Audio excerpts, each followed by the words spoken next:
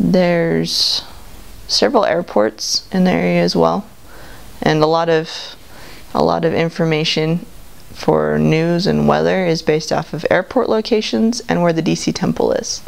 And the DC Temple is outside of the Maryland Baltimore mission, about 20 minutes or so.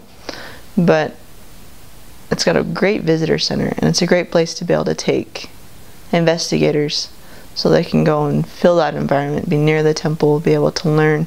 And around Christmas time, they have wonderful performances, which really allow people to be able to get a, a feel for what we believe.